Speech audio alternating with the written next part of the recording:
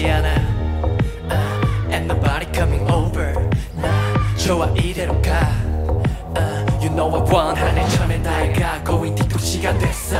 uh, 칼퇴각되면 집중 파워 어머 어쩌나 방금 개명했어. So 이름 부르지만 너무 또왜 여기로 오시나? 이번은 와폰의 책상 깨끗한 거 봐요. 갈 준비 어려 유일했던 장점 6시에 다 카페 것도 이제 없음. Well I can do what I want 약은 강요하지만 저녁 있는 삶을 살고 싶은 뿐인데.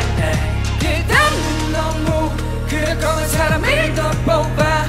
집에 가고 싶었어 all day all day all day 알겠어 다. I'm I own 그저까지 숨어 keep down. 퇴근 직전 좀 부르지마 제발. 솔직히 말해봐. 같은 생각인 걸 deep down. 퇴근 직전 좀 부르지마 제발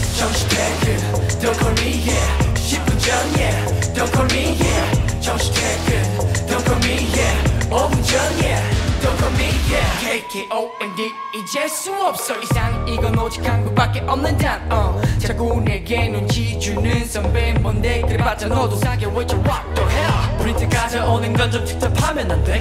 언제부터 그게 당연한 건데 그쯤에. 악스 따위 필요 없지. 엔스 탓은 하지 말게. 할 일은 각자 합시다. Well I can do what I want. 퇴근 후엔 내 시간 떠나는 삶 살고 싶은 마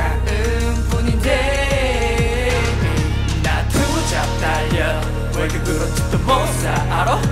눈어줄 거 아니면 Don't tell, don't tell, oh yeah 말리지만 나 I'm the king when I own 그 전까지 숨어 keep down 직전 좀 부르지 마 제발 솔직히 말해봐 같은 생각일 걸 deep down 직전 좀 부르지 마 제발 정시 퇴근 Don't call me yeah 10분 전 yeah Don't call me yeah 정시 퇴근 Don't call me yeah 5분 전 yeah Don't call me yeah 에, yeah. 야근 없는 삶 워라벨 좋아. 당연히 원해. 정시에 퇴근 no day. 퇴근 후 연락 메신저 no. 주말은 연락 좀 마지막에 부탁해. Somebody help me 누구라도 Don't call me.